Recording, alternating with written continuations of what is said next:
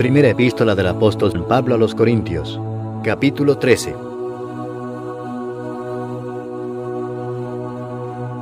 Si yo hablase lenguas humanas y angélicas y no tengo amor, vengo a ser como metal que resuena o címbalo que retiñe.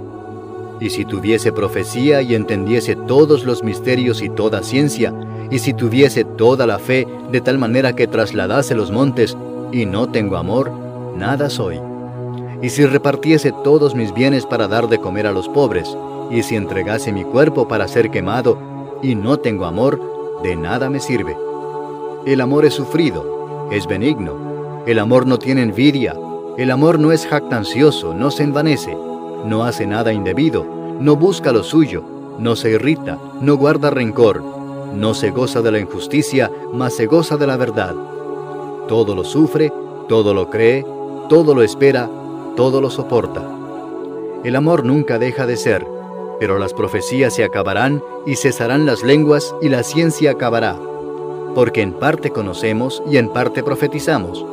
Mas cuando venga lo perfecto, entonces lo que es en parte se acabará. Cuando yo era niño hablaba como niño, pensaba como niño, juzgaba como niño. Mas cuando ya fui hombre, dejé lo que era de niño. Ahora vemos por espejo, oscuramente, mas entonces veremos cara a cara. Ahora conozco en parte, pero entonces conoceré como fui conocido. Y ahora permanecen la fe, la esperanza y el amor, estos tres, pero el mayor de ellos es el amor.